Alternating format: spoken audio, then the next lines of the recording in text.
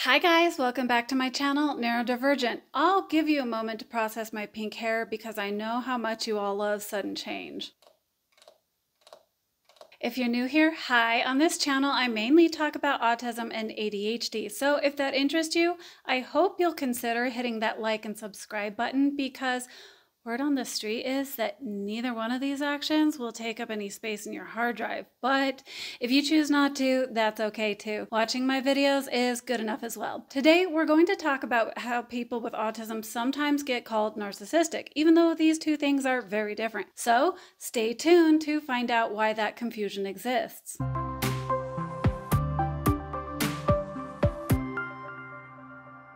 Thanks for sticking around. As with many things pertaining to autism, I'm not the first person to touch on this subject because it really is a pretty big misconception.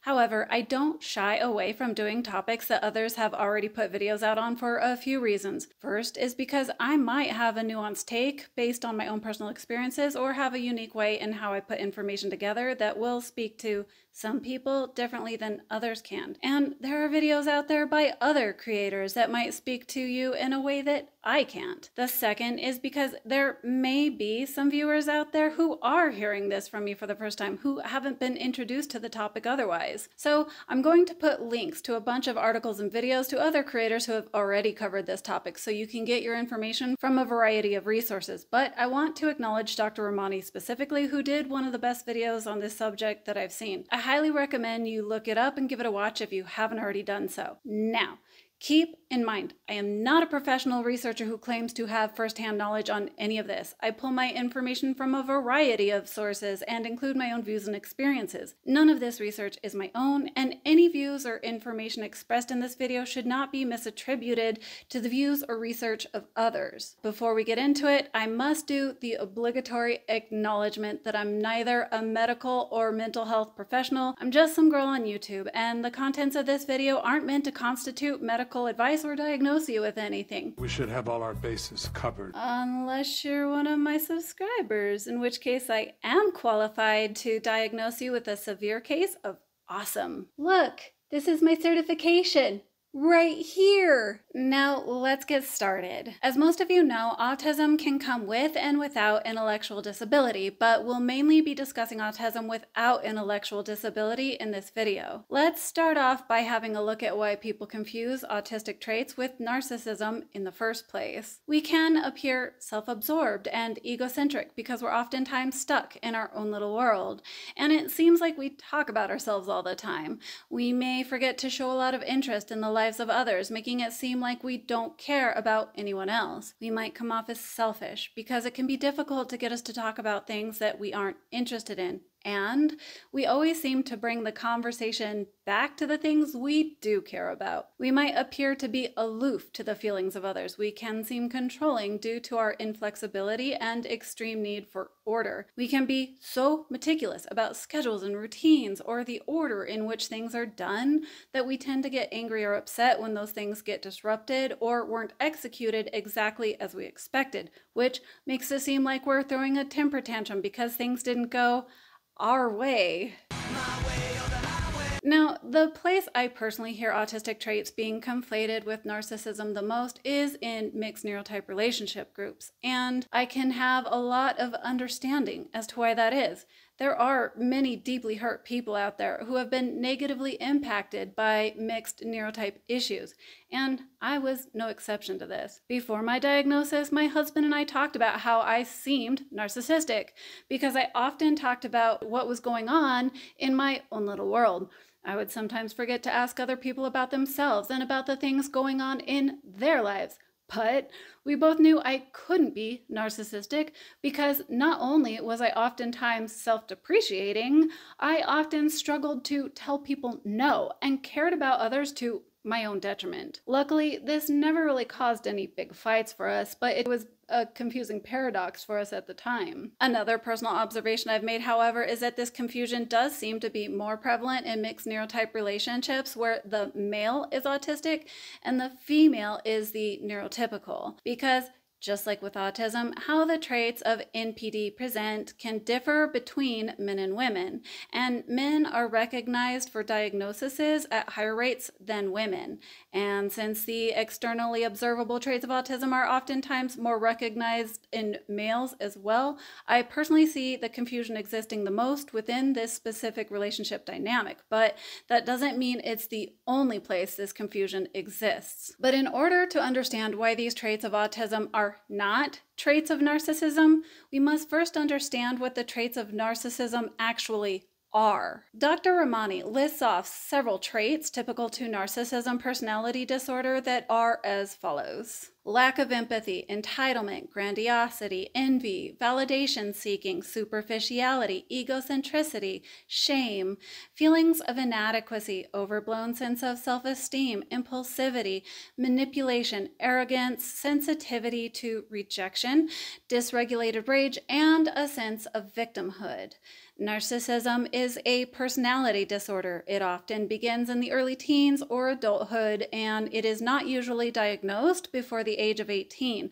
Although it should be noted that earlier signs of NPD could exist in younger children, but may not be differentiated from self centered behavior normal in adolescents. Whereas Autism is a neurodevelopmental disorder which impacts communication and social interactions and can manifest in the following ways. Difficulty in initiating and maintaining conversations, difficulty in social behaviors, trouble with understanding social cues, lack of interest in relationships, abnormality in eye contact, restricted and repetitive behaviors, inflexibility to routines, need for sameness, fixated interests, and sensitivities to sensory inputs. Since autism is a neurodevelopmental disorder, it is present at birth and can be detected as early as 18 months old. By age 2, a diagnosis by an experienced professional can be considered reliable. When we think of NPD, we oftentimes think of the more well known classic form of grandiose narcissism. There are about eight different types of narcissism total, but they all have similar characteristics of lack of empathy and self centeredness. So, first, let's look at some of the key differences between ASD and NPD. Then, we'll look at some of the areas of overlap.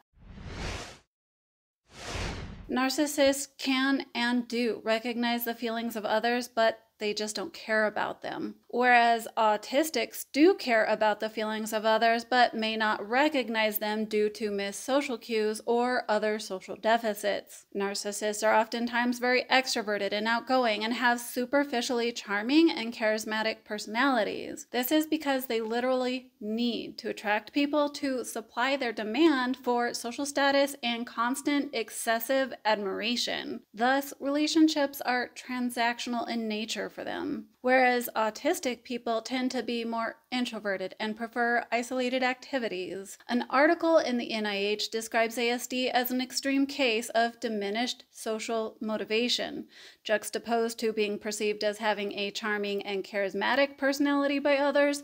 Those with ASD are more likely to be perceived as socially awkward and have difficulty in engaging in reciprocal conversations. So, whereas in narcissism, they need a supply of people those with autism are more socially avoidant. To be clear, they're not people phobic, they can and do form meaningful relationships. They're just not as motivated to seek them out and might have difficulty in maintaining those social interactions. Narcissists are oftentimes preoccupied with fantasies about success, power, brilliance, beauty, or the perfect mate, and they are oftentimes envious of others and believe others should envy them. While those with autism, as we just discussed, are less socially motivated, so as you can imagine, status seeking would be a close cousin to this. And while little research exists on autistic attitudes towards social hierarchies, a large review of verbal and written communication from autistics show that those with autism find status seeking illogical and prefer egalitarian relationships instead. Narcissists often behave arrogantly, brag a lot, come across as conceited, and seem to have an unreasonably high sense of self importance and grandiosity. Whereas social stigmas in autism interfere with the development of positive social identity, and thus, those with autism have lower levels of self esteem and higher levels of depression and anxiety. So, like the opposite of all of that. It should be noted that those with NPD do not actually have a secure sense of high self esteem, but instead have a fragile, high sense of self esteem that is dependent on external validation. Narcissists take advantage of others to get what they want, whereas people on the spectrum are more likely to be taken advantage of. They're vulnerable to exploitation and abuse because they may have difficulty understanding social cues and communication, including difficulty recognizing when the behavior of others is concerning or inappropriate. Narcissists use manipulation and deceitfulness to get what they want, whereas while people on the spectrum can and do engage in deception, they are shown to do so less frequently and are less adept at it than neurotypicals. Narcissists may exhibit over confidence, impulsivity, and a willingness to ignore expert advice and place a higher regard on their own opinion or advice, which results in a higher likelihood of making bad decisions. Their actions are often said and done with little regard to consequence, whereas people with autism are less likely to be impulsive, are more risk avoidant and rule following, and tend to sample more information prior to decision making decision making and autism. There's another video I need to get to. Now, as with everything, there are exceptions to many of the things I have said here. It is near impossible to be entirely accurate and all encompassing of every scenario and exception in a 20 minute YouTube video. But there is such a thing as an extroverted autistic.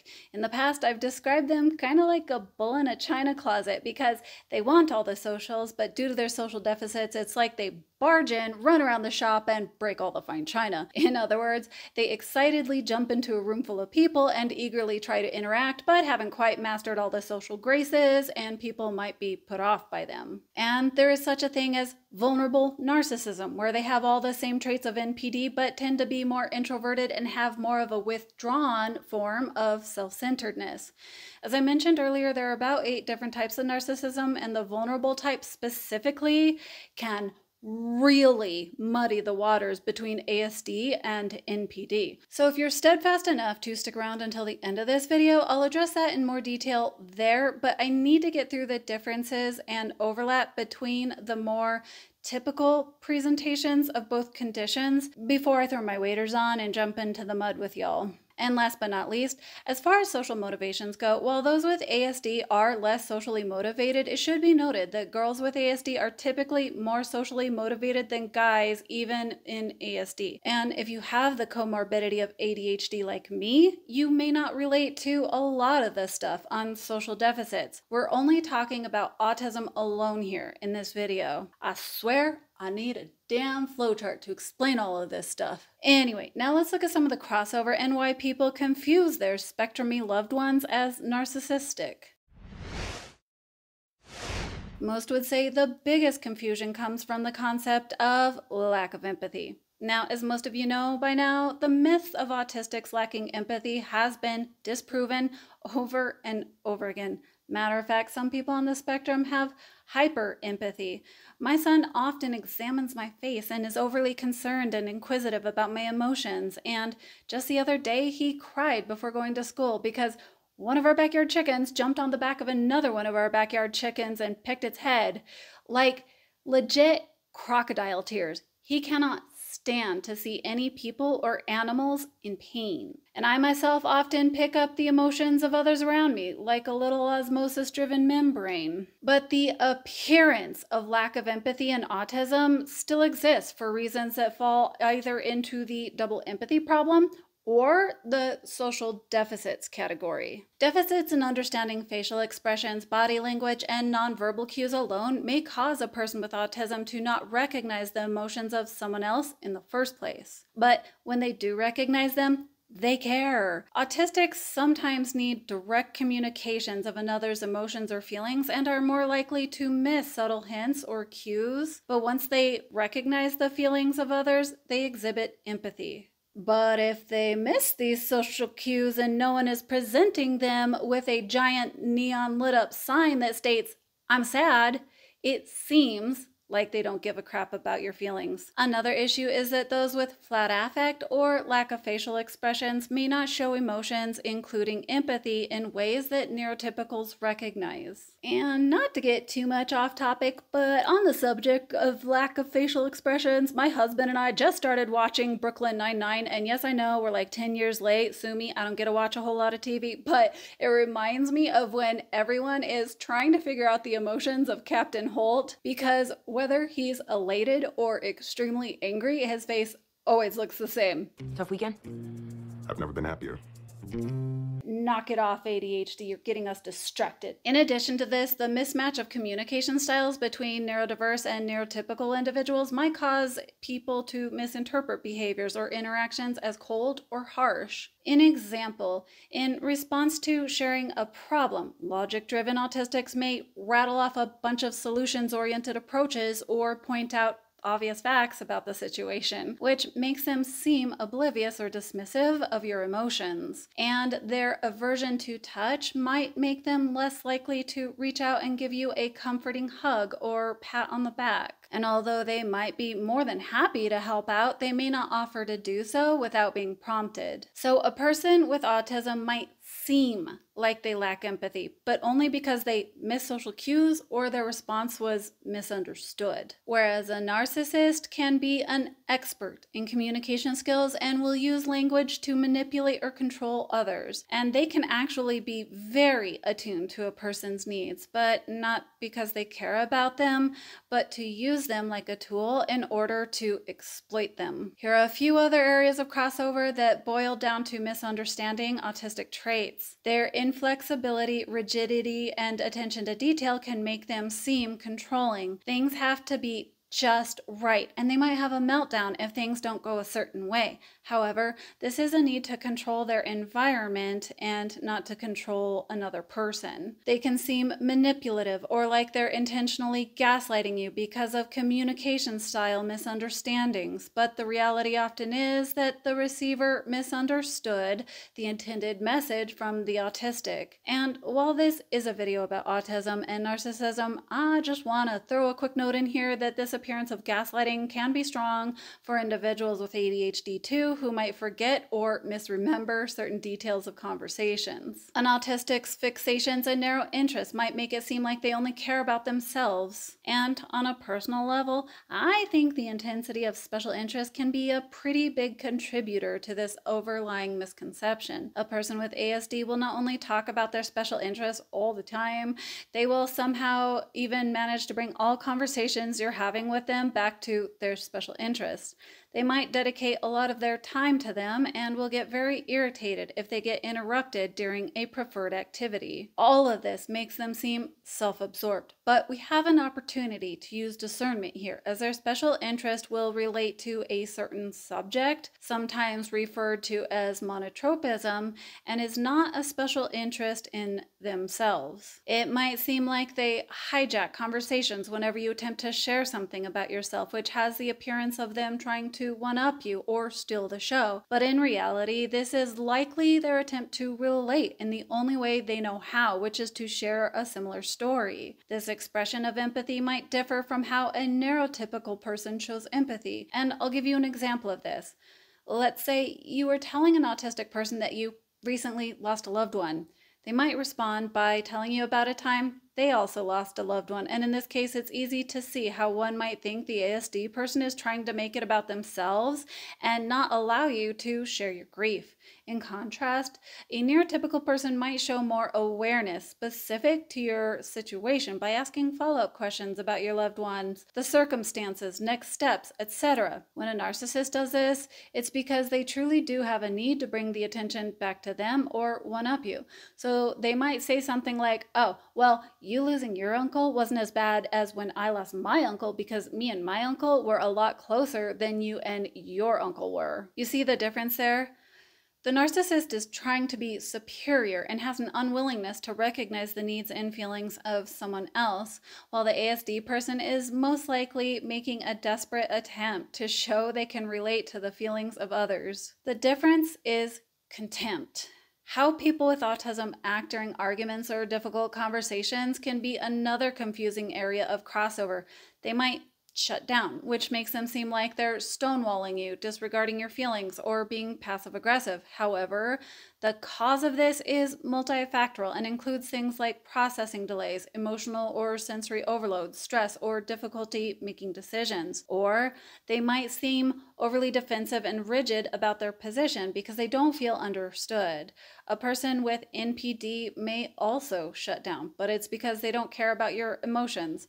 They can also seem overly defensive or they can escalate an argument by belittling your feelings, projecting, shifting blame, or being antagonistic. Now, the lines can be really blurry with this one because an ASD person having a single focused lens, inflexibility, and constantly battling the double empathy problem can lead them to seem overly explanatory of their position and dismissive of yours. However, it may not be the rigidity of their position being the correct one, but rather having their position understood. A few possible distinctions to take into consideration between ASD and NPD argumentation styles are as follows. A person with ASD can apologize or take responsibility. It might take them some time due to processing issues, and it won't happen 100% of the time, but they can do it. Whereas a person with narcissism will almost never offer a genuine apology or admit wrongdoing, unless inauthentically, to shut you up, or to play the victim, or to be manipulative. A person with ASD can state an understanding of your position even if they don't agree with it. They have the ability to understand where you're coming from and sometimes to agree to disagree. Whereas it is very difficult for a person with narcissism to ever concede defeat or admit that another person is correct. With ASD, there should have been arguments where you're able to reach some kind of resolution and mutual understanding. Whereas with NPD, the conversations are almost always circular in nature and rarely ever reach mutual understanding or resolution. Now, you're not going to get apologies or reach resolutions with an autistic person 100% of the time, like I said, but even if it's 50% of the time, the point is it can and does happen. Whereas the batting average is closer to zero for a full blown narcissist. Dysregulated rage is another manifestation of both NPD and ASD, but in narcissism, it's usually caused by perceived threats to their self image, whereas in autism, it may come from sensory overwhelm or communication challenges. And finally, if a person with autism says hurtful words to you, it may be due to their social deficits and not because they intended to cause harm. Whereas with a narcissist, they know it will hurt you, they don't care, and it's calculated. Like if you asked your loved one with ASD if they liked your new outfit, they might say no, but not because they have a desire to hurt you, but because they can be truthfully blunt in a manner that most would consider rude. Matter of fact, they might perceive their actions as helpful because, hey, maybe you should change your outfit before you go out. But the motivations in a person with NPD might be to intentionally belittle you because they often tend to look down on others and feel like others are not as important as them. In some cases, it might even stem from unrealistic expectations of perfection in their mate because their partners are viewed as accessories that reflect on their image. Now, as I mentioned earlier in this video, there are actually a few different types of narcissism, and one of those is called a covert or vulnerable narcissist. And the difficulty of deciphering between this type of narcissism and ASD is a real task. The covert narcissist still has a lack of empathy, entitlement, and pervasive contempt, but possesses more ASD seeming traits like being more introverted and less charismatic, having lower levels of self esteem, and having higher levels of depression. They frequently engage in projection, i.e., if they're being antagonistic, they'll tell you you're the one being antagonistic, which isn't really a common behavior in autism. They have hypersensitivity in criticism and perceived hostility. However, they still hold grandiose beliefs about themselves and feel they are not being recognized or that their special abilities are being misunderstood. This can mimic an autistic's hypersensitivity to criticism, but is more likely to be caused by rejection sensitivity or constantly feeling misunderstood. The covert narcissist can experience feelings of injustice because they feel as though the world owes them and they can often be described as brooding and might even feel others deserve retribution, whereas an autistic sense of injustice is oftentimes centered upon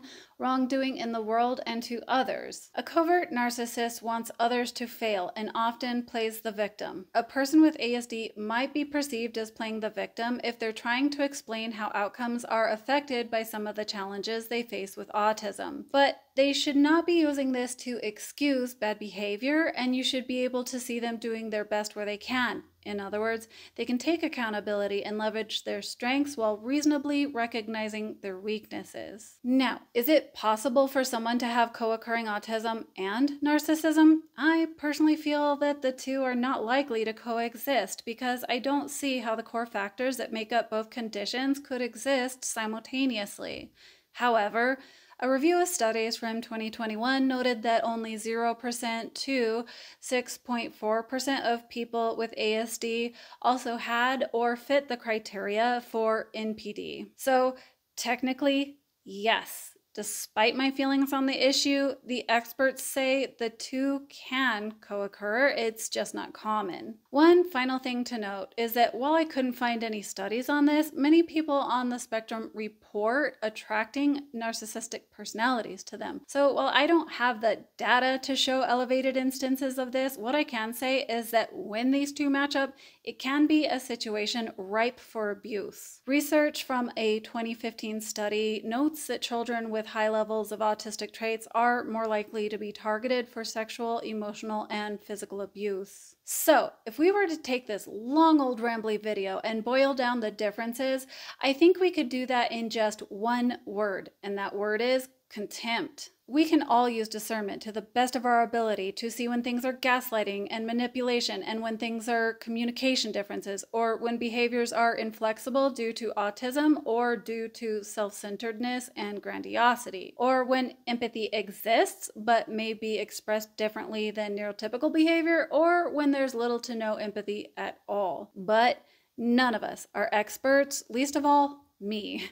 As I said earlier, I am not a doctor. I'm a Googler. I had 29 open tabs at the time I was researching all of this, and yes, I researched for an entire week to put this video together, but that still doesn't mean you can now shove this video in someone's face to accuse them of being a narcissist. You can think of this video like a conglomerate of publicly available resources that I cultivated for you and sprinkled with my own lived experience with ASD that can be used as a starting point for discussion. There are people out there who have years of actual experience in behavioral health and psychology. So, if you're trying to better understand if someone in your life is autistic or narcissistic, then you should be talking about all of this with a professional. So, I'll end it there. Finally. I hope I have earned a subscribe or a like from you, but no pressure, as I appreciate you just sticking around until the end of this video. Other than that, hopefully I'll see you in my next video. Bye for now. Mwah. Awesome person detector. Yeah.